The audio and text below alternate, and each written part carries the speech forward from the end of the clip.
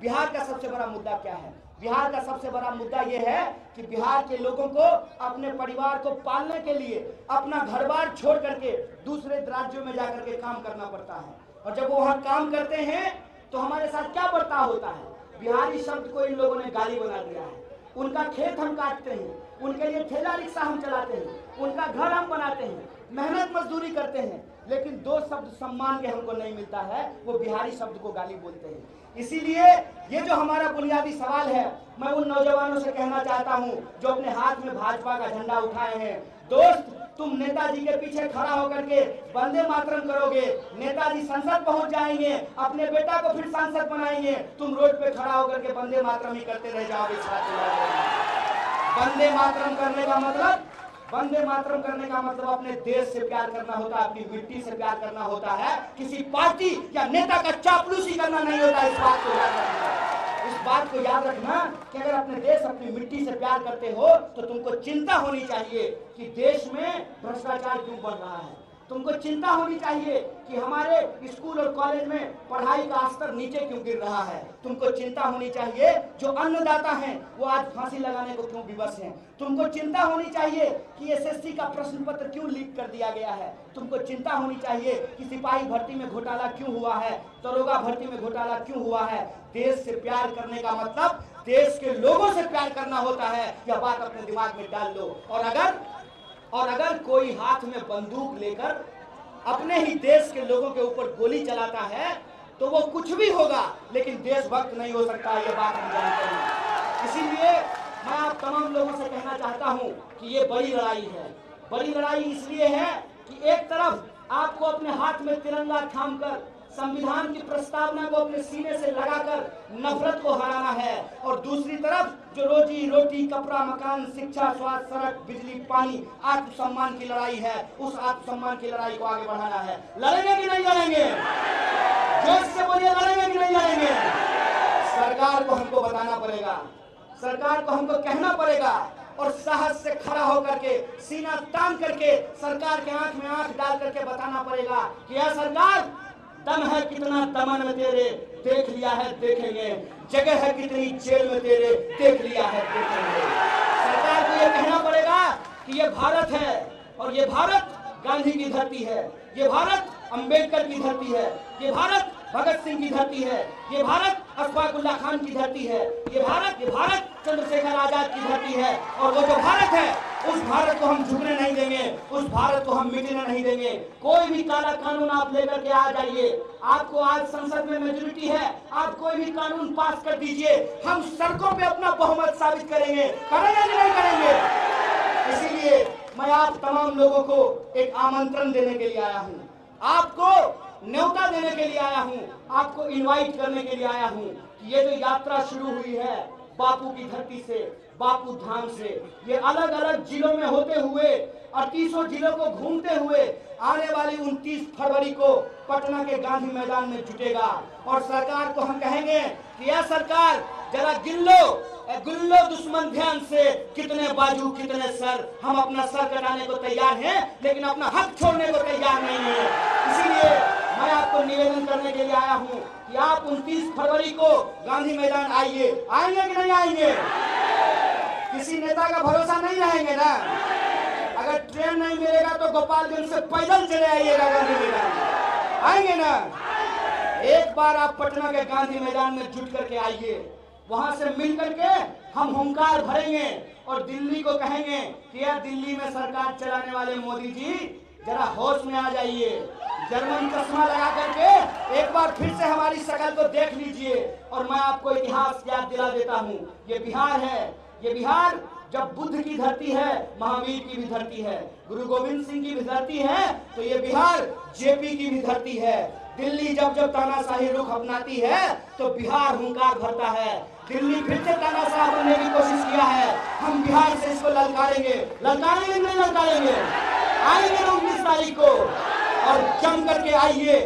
पहले तो हम लोकतांत्रिक तरीके से बड़ा जमावड़ा लगाकर, बड़ी जुटान करके सरकार को कहना चाहते हैं कि आप देश विरोधी एनपीआर, एनआरसी और सीए को वापस लीजिए।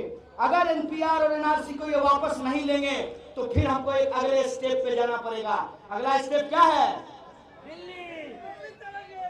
गांधी जी को भी याद किए थे ना?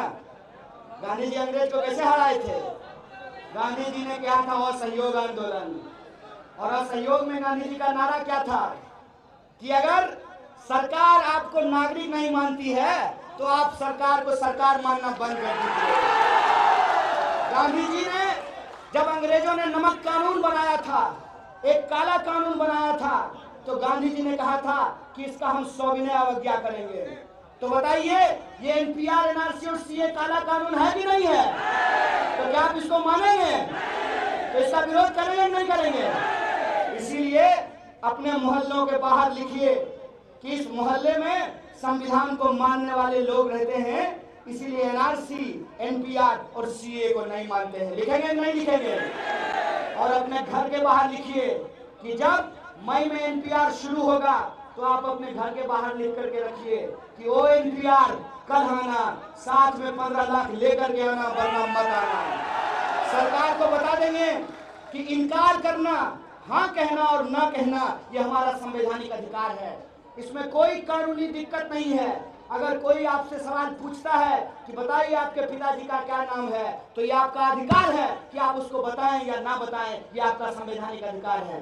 सरकार या तो कागज़ के आधार पर लोगों को नागरिकता छीनने की जो साजिश है, उसको बंद करे। अगर नहीं बंद करे तो आपके घर जो आए, आपके दादाजी के दादाजी का नाम पूछने तो उसको कहिए कि आइए, रसना पीजिए रुअफ़जा पीजिए और उल्टे पाँव वापस चले जाइए। ये काम हम लोगों को करना पड़ेगा। करेंगे नहीं करेंगे? अगर आप करने के लिए तैयार हैं तो मैं आपको बता देता हूँ। ये बोले हैं ना कि हम एक इंच भी पीछे नहीं हटेंगे। बोला है ना मोटा भाई? अरे एक इंच तो क्या? अमित शाह, तुमको वही भागना पड़ेगा जहाँ नित्यानंद भाग करके गया है, कैलासा इस बात को अंग्रेज़ों को भी लगता था कि वो भारत छोड़ करके नहीं जाएँगे। छोड़ करके गए कि नहीं गए? अगर भारत में रहोगे तो भारत के हिसाब से रहोगे। और भारत का हिसाब ये है कि हम भारत के लोग हैं। हम धर्म के आधार पर कोई भेदभाव बर्दाश्त नहीं करेंगे। ये मान करके रहोगे, अगर नहीं मानने के लिए तैयार हो तो वही भाग करके जाओगे, जहाँ नीरव मोदी और मेहुल चौकसी भाग करके गया है। इस बात को याद रखना। और इसी संकल्प के साथ कि ये बड़ी लड़ाई है, इस बड़ी लड़ाई में एक चीज़ का और हमको ख्याल रखना है। अगर हमारे हाथ में तिरंगा है अगर हम अपने सीने से अंबेडकर और गांधी की तस्वीर लगाते हैं, अगर हमारे मन में भगत सिंह का सपना है तो एक बात को याद रखिएगा, किसी भी सूरत में हमको इस आंदोलन में किसी भी हिंसा को बर्दाश्त नहीं करना है। इसीलिए एक चीज़ अपने दिमाग में रखिएगा don't be silent don't be violent हम लोगों को वायलेंट नहीं होना है, क्योंकि क्योंकि हिंसा वो करते हैं जिनको अपने तर्क पे ताकत नहीं होता है। जिनको अपने तर्क पे भरोसा नहीं होता है। हमको हिंसा करने का ज़रूरत नहीं है। हम तो अमित शाह को मुँह से ही चिढ़ा देते हैं, बोलिए पत्थर चलाने का क्या ज़रूरत है? ऐसे ही प्रधानमंत्री को तितकी लगना शुरू हो जाता है। बताइए इसमें हमको हिंसा करने का क्या ज़रूरत है? जब हमारे पास तर्क है और जब हमारे पास एकता है तो हमको हिंसा की ज़रूरत नहीं है। उनको हिंसा की ज़रूरत है। हम किसी भी सूरत में हिंसा को बर्दाश्त नहीं करेंगे। एक एक कदम चल करके, जैसे हमारे पुरखों ने अंग्रेज़ों से हमको आज़ादी दिलाई थी, उस आज़ादी को हम बचाएँगे। बचाएँगे नहीं बचाएँगे?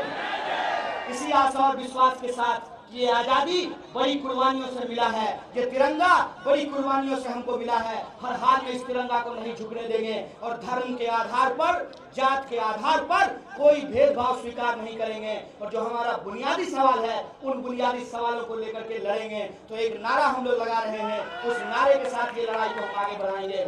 सुन ले जुमला सरकार नहीं चलेगा सीए एनआरसी एनपीआर देश का युवा मांगे रोज़गार, नहीं चलेगा सीए एनआरसी एनपीआर ये नारा पसंद है ना? तो आप भी इस नारे को लगाया कीजिएगा।